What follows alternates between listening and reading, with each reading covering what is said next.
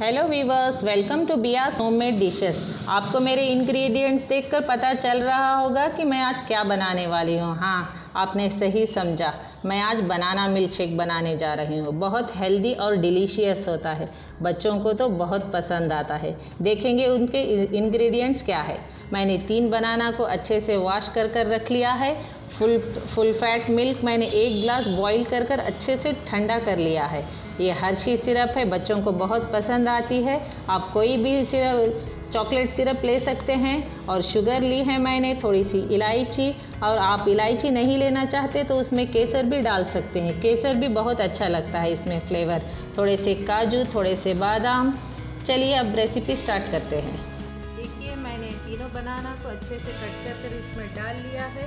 अब मैं इसमें सारा मिल्क डाल दूँगी। जो मैंने बॉईल कर कर, ठंडा कर कर रखा था, और आप जितनी शुगर लेते हैं, उतनी डाल सकते हैं। मैंने थ्री स्पून शुगर ली है, और दो इलायची डाल रही हूँ इसमें। और थोड़े से काजू, थोड़े से बादाम डाल रही हूँ। अब मैं इसे अच्छे से ग्राइंड कर लूँगी।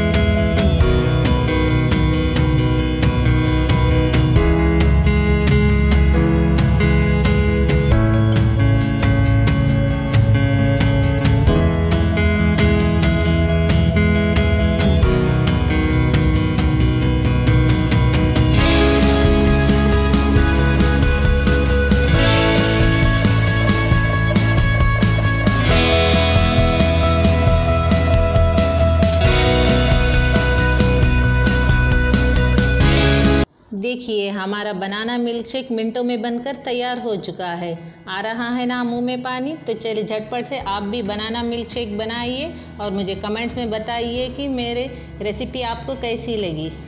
Thanks for watching